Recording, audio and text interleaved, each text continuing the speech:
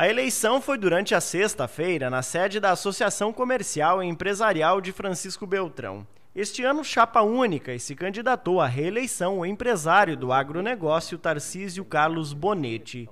O empresário votou durante a manhã. Nós criamos um conselho bastante participativo, né, com pessoas é, muito gabaritadas, né, e este conselho, obviamente, vai, vai trabalhar todos juntos para que a gente possa realmente é, é, fazer com que a entidade continue trabalhando, continue é, nessa missão dos seus 58 anos de existência.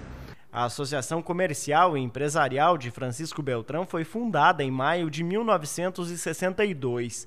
A CFB é filiada à Federação das Associações Comerciais e Empresariais do Paraná.